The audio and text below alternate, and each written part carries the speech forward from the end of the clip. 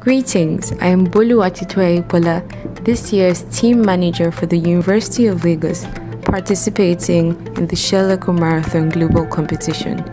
You're not going to see any humans in this video because it's intended to provide better technical overview of our vehicle. We'll be entering the 2020 competition with an urban concept vehicle in the ICE energy category. We've gone with the traditional chassis and frame configuration that involves a frame and body mounted on top of it.